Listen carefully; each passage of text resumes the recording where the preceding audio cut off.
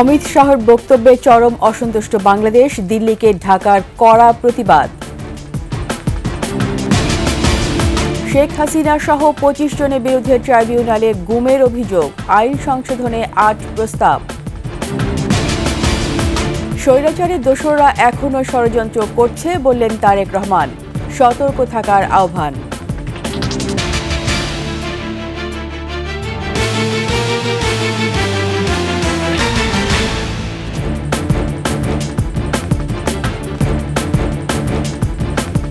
শুনছিলেন first security Islami bank PLC সংবাদ শিরোনাম। আমন্ত্রণ একুশের সংবাদে সাথে আছি রীতা চৌধুরী। দর্শক, একুশে টেলিভিশনের সংবাদ একই সাথে সরাসরি দেখতে পাবেন আমাদের Facebook page W W dot Facebook dot com Ekushey twenty four অনলাইনে সাবস্ক্রাইব করতে পারেন W W W dot YouTube dot com at ATV চ্যানেলে ভারতের কেন্দ্রীয় স্বরাষ্ট্রমন্ত্রী অমিত শাহর বাংলাদেশি অনুপ্রবেশকারীদের উল্টো করে ঝুলিয়ে সোজা করা হবে। এমন বক্তব্যের কড়া প্রতিবাদ জানিয়েছে বাংলাদেশ। একই সঙ্গে ভারত সরকারের রাজনৈতিক নেতাদের এ ধরনের আপত্তিকর মন্তব্য থেকে বিরত থাকতে পরামর্শ দিয়েছে ঢাকা। পররাষ্ট্র মন্ত্রণালয়ের সংবাদ বিজ্ঞপ্তিতে জানানো হয়েছে, ঢাকায় ভারতের ডেপুটি হাই কমিশনারের কাছে হস্তান্তর করার প্রতিবাদ নোটে স্বরাষ্ট্র মন্ত্রণালয় ভারতের কেন্দ্রীয় স্বরাষ্ট্রমন্ত্রীর বক্তব্য নিয়ে অসন্তোষ জানায়। একই সঙ্গে প্রতিবেশী দেশের নাগরিকদের বিরুদ্ধে দায়িত্বশীল জায়গা থেকে এ ধরনের মন্তব্য দুটি বন্ধু দেশের মধ্যে পারস্পরিক শ্রদ্ধা ও বোঝাপড়ার মনোভাবকে অবজ্ঞা বলেও জানিয়েছেন পররাষ্ট্র মন্ত্রণালয়।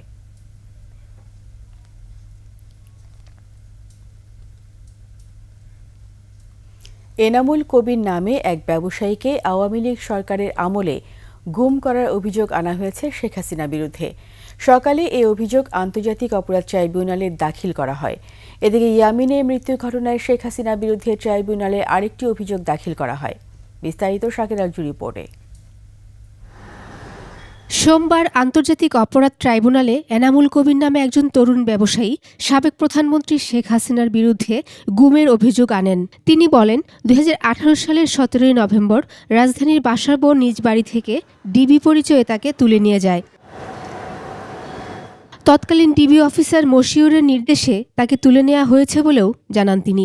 হাত পা বেঁধে তাকে নির্যাতন করা হয়। পরে ২৬ নভেম্বর তাকে ছেড়ে দেওয়া হয়। সাত দিন পরে সবুজগড় থানায় একটা জিডি নিয়েছে। এরপরে দশ দিন পরে আমাকে এক বস্তা বিস্ফোরক দিয়ে রাষ্ট্র বিরোধী কর্মকাণ্ডের সঙ্গে আমি জড়িত এই মর্মে আমাকে একটা মামলা দিয়ে তখন তারা জেল হাজতে পাঠিয়ে দেয়। সে জামাতের কর্মী অতীত সরকারের বিভিন্ন সময়ে যত গুমের ঘটনা হয়েছে এই পুরো সময়ের মধ্যে সবগুলো সবগুলো গুমের ঘটনার তদন্ত উনি চেয়েছেন এবং বিচার এখানে প্রার্থনা করেছেন। এই নয় দিন তাকে তুলে নিয়ে যে অত্যাচার করা হয় সেজন্য শেখ হাসিনা সহ পঁচিশ জনের বিরুদ্ধে একটি অভিযোগ দায়ের করেছেন।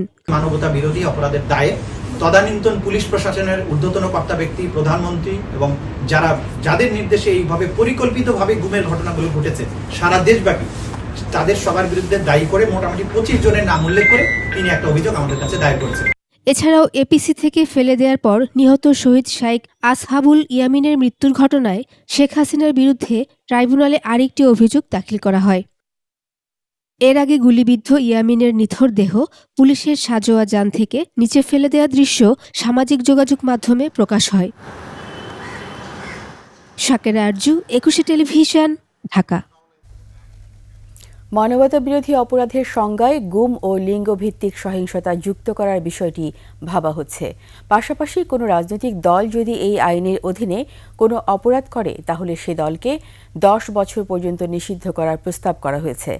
সরকারি উপদেষ্টারা বলছেন, কোনো প্রতিশোধ নয়, জুলাই আগস্ট গণহত্যায় ন্যায় বিচার নিশ্চিত করতে চায় সরকার। এ লক্ষ্যেই আন্তর্জাতিক অপরাধ আইনের সংস্কারে উদ্যোগ নেওয়া হয়েছে। মেহেদি হাসানের রিপোর্ট। উনিশশো একাত্তরে মুক্তিযুদ্ধে সংগঠিত মানবতাবিরোধী অপরাধের বিচারের উদ্দেশ্যে প্রণয়ন করা হয়েছিল আন্তর্জাতিক অপরাধ আইন উনিশশো তেয়াত্তর। জুলাই আগস্ট অভ্যুত্থানে সংগঠিত মানবতাবিরোধী অপরাধের বিচারও এই আইনের আওতায় করার দাবি ওঠে। এমন পরিস্থিতিতে এ আইনকে যুগোপযোগী করতে এতে আট দফা সংশোধনীর প্রস্তাব আনা হয়। সব রকমের ডাটা ইনফরমেশন সিসিটিভি ফুটেজ সবকিছুকে সাক্ষ্যে ডিজিটাল অন্তর্ভুক্ত করা হয়েছে। এর মাধ্যমে অপরাধে জড়িত ব্যক্তির পাশাপাশি সংগঠনকেও বিচারের আওতায় আনার দাবি ওঠে। এমন কোন দল কখনো আসতে পারে যারা ক্ষমতায় থেকে এমন কিছু করল যাদেরকে ফরএভার ব্যান করার মতো পরিস্থিতি হতে পারে? আমাদের ফ্যাসিস্ট বা নাজি পার্টিগুলোতে যেরকম হয়েছে সেই ধরনের পরিস্থিতিও হতে পারে। আর কোনো শাসক যদি যেন না ভাবে যে আমি এইভাবে করে গণহত্যা চালিয়ে আমি পার পাবো সেইটার জন্য অ্যাকচুয়ালি জুলাই এবং আগস্টে যা হয়েছে তার অত্যন্ত কড়া শাস্তি হওয়া উচিত। তবে শুধুমাত্র কোনো রাজনৈতিক দলকে নিষিদ্ধ করার উদ্দেশ্যে বিচার করা হলে তা বিশ্ব সম্প্রদায়ের কাছে গ্রহণযোগ্য হবে না to me, this looks like a sentence simply created to punish, punish the Awami League. I mean, to put it bluntly. Um, it may be popular with other political parties, and there may be a more reason for that. But I think there would be a big mistake এই প্রস্তাবটা রাখতে চাই যে এখানে বিদেশ আন্তর্জাতিক কোনো বিচারপতি এখানে রাখার সুযোগ থাকা উচিত। সব পক্ষের কাছে গ্রহণযোগ্য হবে এমন বিচারই করতে চায় সরকার। আমার বুকের ভিতরে যত কষ্ট থাক যত হতাশা থাক যত আপনার ক্রন্দন থাকুক ক্ষোভ থাকুক বিচারটাকে অবশ্যই আমাদের সবার কাছে গ্রহণযোগ্য হতে হবে। আমরা সচেতন আছি আমরা একটা ডিপলি পোলারাইজ সোসাইটিতে বাস করি।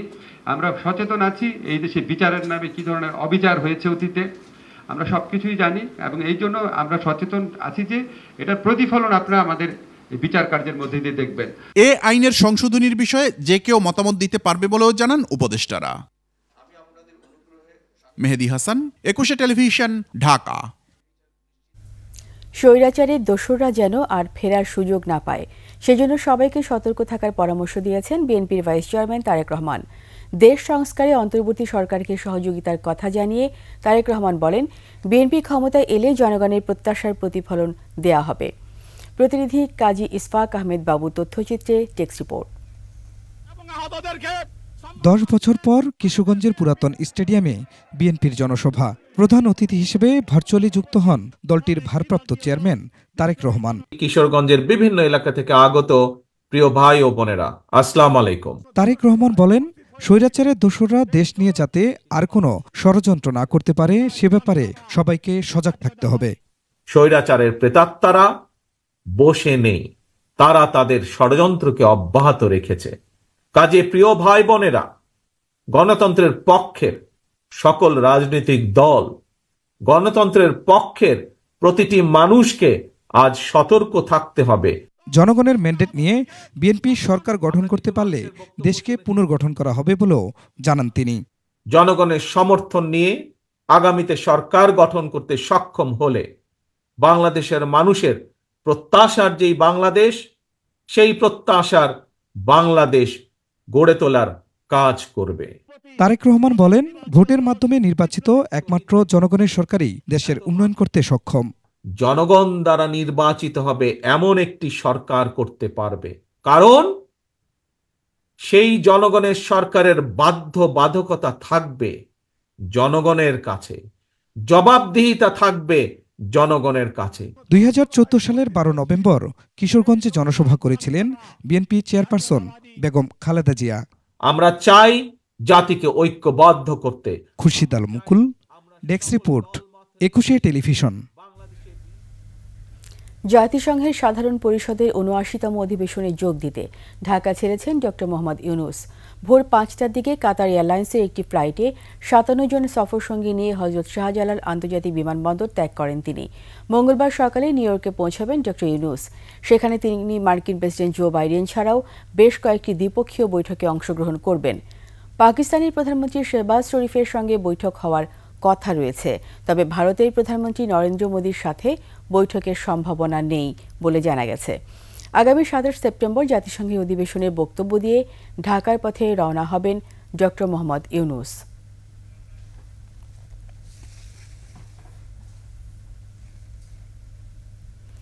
উন্নত বিশ্বের সাথে আঞ্চলিক এবং দ্বিপাক্ষিক সম্পর্ক মজবুত করে কৌশলগতভাবে বাংলাদেশ আরও লাভবান হবে।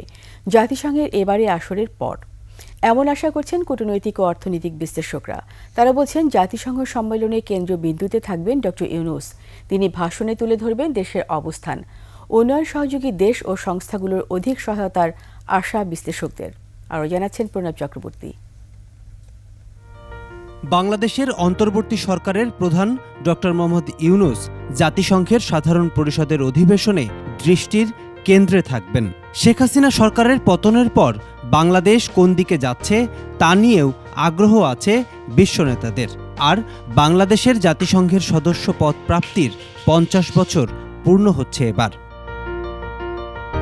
মানবাধিকার ও গণতন্ত্র ইস্যুতে পতিত আওয়ামী লীগ সরকারের সময় যুক্তরাষ্ট্র, ইউরোপীয় ইউনিয়ন সহ পশ্চিমা অনেক দেশের সাথে বাংলাদেশের এক প্রকার টানাপোড়েন তৈরি হয়েছিল।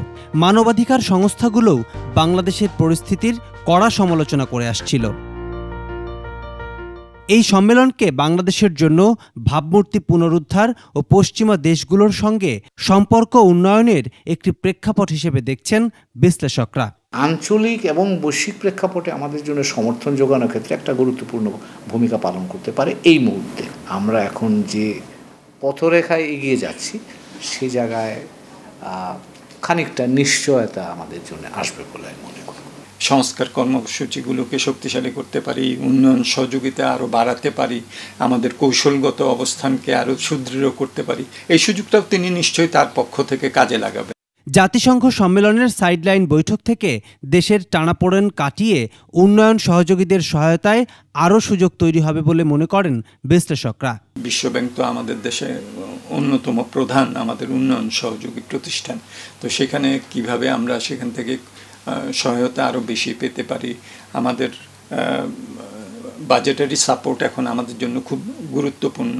তো সহায়তাটা যদি সেই ফর্মে আসে, তাহলে ওই টাকাটা ইউজ করার ক্ষেত্রে আমাদের ফ্লেক্সিবিলিটি অনেক বেড়ে যায়। তারপর আইএমএফের এখনও পর্যন্ত কিন্তু আরও তিন বিলিয়ন ডলার পর্যন্ত তারা সহযোগিতা আমাদেরকে দিতে পারে। তো সেইটা নিয়েও হয়তো আলোচনা হতে পারে। সাতাশ তারিখ জাতিসংঘের সাধারণ অধিবেশনের প্রধান উপদেষ্টার বক্তব্যে রোহিঙ্গা সংকট, জলবায়ু ইস্যু, পাচার হওয়া, অর্থ ফেরত সহ বিভিন্ন বিষয় নিয়ে কি কি গুরুত্বপূর্ণ বিষয় থাকছে তা দেখতে মুখিয়ে পুরো দেশ। প্রণব চক্রবর্তী, একুশে টেলিভিশন, ঢাকা। নিচ্ছি সংবাদ বিরতি, যখন ফিরব তখন অন্যান্য খবরের সঙ্গে আরও থাকবে লেবাননে দফায় দফায় ইসরায়েলি বিমান হামলা নিহত আড়াইশো ছাড়িয়েছে।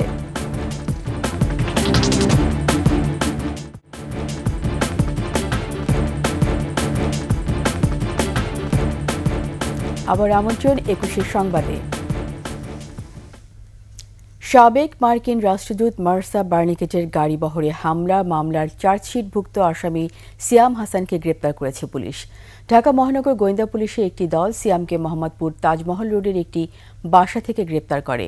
সিয়াম হাসান ছাত্র জনতা অভ্যুত্থানের সময় হত্যা মামলারও আসামি। এছাড়াও তার বিরুদ্ধে আরও মামলা রয়েছে বলে জানিয়েছে পুলিশ।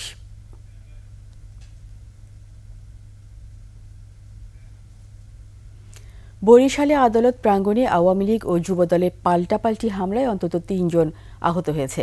দুপুরে সাবেক পানি সম্পদ প্রতিমন্ত্রী জাহিদ ফারুক শামীমকে ঢাকা থেকে বরিশাল আদালতে আনা হবে এই খবরে অনুসারীরা আদালত প্রাঙ্গণে জড়ো হতে থাকে।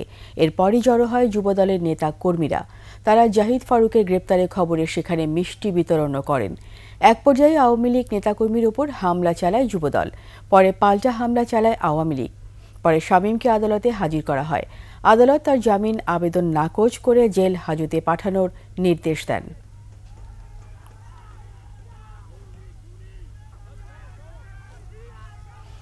নাচ আর গান গেয়ে এবার পিটিয়ে মেরে ফেলা হলো চট্টগ্রামের এক তরুণকে। ঘটনার এক মাস পর পিটিয়ে হত্যার এই ভিডিও সামাজিক যোগাযোগ মাধ্যমে ছড়িয়ে পড়লে তোলপাড় শুরু হয়। মরদেহ পাওয়ার পর হত্যা মামলা করেন স্বজনরা। দোষীদের কঠোর শাস্তির দাবি জানান তারা।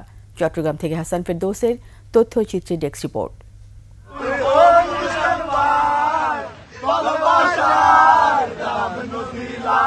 এভাবেই নাচ আর গানের তালে তালে পেটানো হচ্ছে এক যুবককে। বিশ সেকেন্ডের ওই ভিডিওতে দেখা যায়, নিস্তেজ হয়ে পড়া যুবকের দুই হাত দুই খুঁটির সঙ্গে বেঁধে রাখা হয়েছে। আর তাকে ঘিরে একদল মানুষ গান গাইছে আর নাচছে। পিটিয়ে হত্যার সময় উচ্ছ্বসিত হতে দেখা যায় ঘাতকদের। নির্মম নির্যাতনের শিকার নিহত যুবকের নাম শাহাদাত হোসেন। তার গ্রামের বাড়ি নোয়াখালীর সোনাইমুড়ির নাদনা গ্রামে। শাহাদাত শহরের একটি ফলের দোকানে কাজ করতেন। চট্টগ্রামের বিআরটিসি এলাকার বয়লার কলোনিতে থাকতেন তিনি। গত চোদ্দ আগস্ট নগরের প্রবর্তক মোড়ে বেসরকারি একটি হাসপাতালের সামনে থেকে শাহাদাতের মরদেহ উদ্ধার করা হয়। তার এমন নির্মম মৃত্যুতে ক্ষুব্ধ স্বজনরা ওর বন্ধুরা আমাদের এখানে আসি ওকে দাওয়াত দিয়ে নিয়ে গেছে। আগের দিন নিয়ে গেছে পরের দিন আমরা লাশ পাইছি তাহলে এরকম মার সন্তানের কেন মারবে? এটির একটা বিচার নাই সুস্থ বিচার নাই দুনিয়াতে। এগুলোর বিচার নাই এগুলোর বিচার কোনখানে আছে? কোনখানে গেলে পাওয়া যাবে? এরকম কেন মারবে? এরকম মার সন্তান করে কেন মারবে? কি ফেলাইছে? ডর আমরা ধরতেছি না। আমরা একটা মানুষ মানুষ মনে করে আপনারা ধরেন নাই কন না এটা কারা ফেলাইছে এটা আমরা বলতে পারছি প্রাইভেট কার থেকে ফেলে দিয়ে গেছে। দোষীদের বিচার চেয়ে শাহাদাতের চাচা হারুন বাদী হয়ে অজ্ঞাতনামা ব্যক্তিদের আসামি করে মামলা করেন। বন্ধুদের সাথে কি হয়েছে আমরা জানি না। বন্ধুরা তাকে ওখানে মারধর করতেছে মারধর করতেছে ছাত্ররা বলছে এটা কি কি কি বলতেছে যখন বলল বলতেছে মোবাইল চোর পুলিশ জানায় দ্রুতই জড়িতদের আইনের আওতায় আনা হবে। এটা নিয়ে আমরা ইতিমধ্যেই পর্যালোচনা করছি বিশ্লেষণ করছি। এখানে এই ঘটনায় যারা জড়িত রয়েছে তাদেরকে শনাক্ত করার চেষ্টা চলছে। কেন এবং কী কারণে এই হত্যাকাণ্ড তা এখনও জানা যায়নি। খুরশিদ আল মুকুল ডেক্স রিপোর্ট একুশে টেলিভিশন। ভারত থেকে পেয়েছেন পদ্মশ্রী। ক্ষমতাচ্যুত হাসিনা সরকার দিয়েছে স্বাধীনতা পদক। বলছি শেখ পরিবারে অতি ঘনিষ্ঠজন রবীন্দ্রসঙ্গীত শিল্পী রেজওয়ানা চৌধুরী বন্যার কথা। কণ্ঠ তার সুরে ভরা, কিন্তু অন্তর্জুড়ে লোভ আর দখলদারিত্ব। ক্ষমতার কাছাকাছি থেকে নিজেকে সামলাতে পারেননি এই সংগীত শিল্পী। রাজধানীতে খাল দখল করে গড়ে তুলেছেন গানের স্কুল। সঞ্জয় অধিকারী রিপোর্ট। আমি যেখানে দাঁড়িয়ে আছি, এটি রামচন্দ্রপুর খালের একেবারে মাঝখানে। পনেরো বিশ বছর আগেও এখানে পানির প্রবাহ সচল ছিল, কিন্তু ক্ষমতাসীনদের দাপটে সেই খালের অস্তিত্ব আজ বিলীন হয়ে গেছে। খালের একেবারে মাঝখানে গড়ে উঠেছে শিল্পী রেজওয়ানা চৌধুরী বন্যার সংগীত বিদ্যালয় সুরের ধারা। স্কুলটির পাশ দিয়েই একটি নালা দিয়ে খুব সরু ধারায় বয়ে চলেছে পানি। সেখান থেকে মাত্র পঞ্চাশ গজ দূরে গেলেই চোখে পড়ে রামচন্দ্রপুর খালের চিহ্ন। দখলের ধাক্কা সামলে এখনও নিজের অস্তিত্বের জানান দিচ্ছে খালটি। এই খালের জায়গা নাল হিসেবে দেখিয়ে মোহাম্মদপুর বেরিবাদ সংলগ্ন এলাকায় একশো দশ শতাংশ খাল লিজ নেন শিল্পী রেজওয়ানা চৌধুরী বন্যা। সেখানে ইতোমধ্যে গানের স্কুল, সুরের ধারার জন্য ভবন নির্মাণ করা হয়েছে। সুরের ধারার ভবন নির্মাণের উদ্বোধন অনুষ্ঠানে উপস্থিত ছিলেন সাবেক প্রধানমন্ত্রী শেখ হাসিনার ছোট বোন শেখ রেহানা, সাবেক আইসিটি প্রতিমন্ত্রী জুনাইদ আহমেদ পলক, ঢাকা উত্তর সিটি কর্পোরেশনের সাবেক মেয়র আতিকুল ইসলাম সহ সরকারের উচ্চ পর্যায়ের অনেক মুখ। ক্ষমতাচ্যুত প্রধানমন্ত্রী শেখ হাসিনা ও তার বোন শেখ রেহানার সঙ্গে রেজওয়ানা চৌধুরী বন্যার বেশ সখ্য ছিল। খালের জমি দখলেও বেগ পেতে হয়নি তাকে। বন্যাকে আমার আন্তরিক শুভেচ্ছা। শুভ জন্মদিন বন্যা। স্থানীয়রা জানান কয়েক বছর আগেও খালটি বেশ প্রবাহমান ছিল তবে দখলবাজদের থাবায় এখন সেটি নিশ্চিহ্ন হওয়ার পথে। তাহলে রাত্রে বেবে ফেলায় আস্তে আস্তে বড়তে বড়তে ওয়াই মনে করে যে এই জায়গাটা দখল করে বালু টালু ফেলায় পরে হ্যাঁ এই বাড়িটা করা হয়েছে। এই বরদাংশ সরকারি ব্যাপার থেকে আইন তারা এই যে স্কুল সুরের ধারা নাকি সুরের ধারা কয়, তারা এই যে বড় করে এবারে যে ওয়াল করা ধরলো। পরিবেশবাদীরা বলছেন খাল কেউ লিজ দিতে পারে না। বন্যা আপার কাছে অনুরোধ জানাচ্ছি। আপনি সংগীত শিক্ষার পাশাপাশি এই শিক্ষাটিও সকলকে দিন যে পরিবেশ দরকার আমাদের। নিশ্চয়ই আপা এই জায়গা থেকে তার স্কুলটি অন্য কোথাও সরিয়ে নেবেন। শিগগিরই খালের জায়গা দখলমুক্ত করা হবে বলে জানান ঢাকা উত্তর সিটি কর্পোরেশনের এই কর্মকর্তা। এগুলো আবার ক্লিনিং ওয়ার্কে যাব খুব শীঘ্রই এবং সাথে সাথে যে যারা অবৈধ দখলদার আছে সেটা উচ্ছেদ কার্যক্রম আমরা স্টার্ট করব। খাল দখলদারদের বিরুদ্ধে আইনি ব্যবস্থা নেওয়া হবে বলেও জানান তিনি। খাল বন্ধ করার যে শাস্তি জেল জরিমানা সেটা হবে। সঞ্জয় অধিকারী একুশে টেলিভিশন ঢাকা। হবে বলেই যে এবার আন্তর্জাতিক সংবাদ।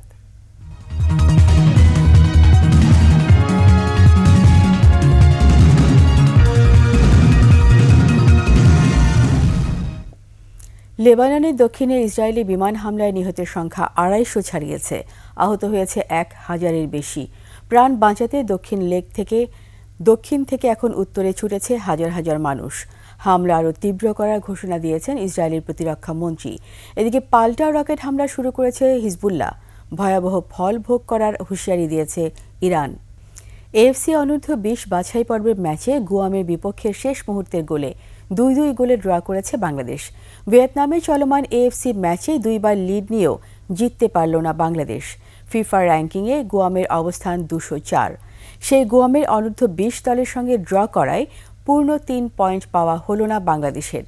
দলের সেরা খেলোয়াড় মিরাজুল ইসলামের গোলে এগিয়ে যায় সফরকারীরা। প্রথমার্ধ সেই লিডেই শেষ হয় পঁচাত্তর মিনিটে গুয়াম ম্যাচের সমতা টানে। এরপর উননব্বই মিনিটে বাংলাদেশের মঈন গোল করলে আবারও লিড পায়। ইঞ্জুরির সময়ে পুনরায় সমতা আনে গুয়াম।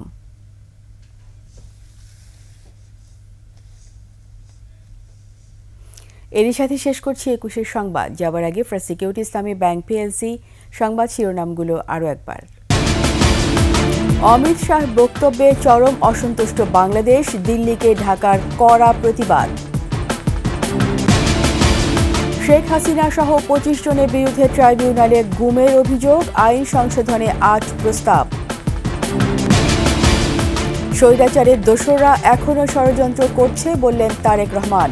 সতর্ক থাকার আহ্বান।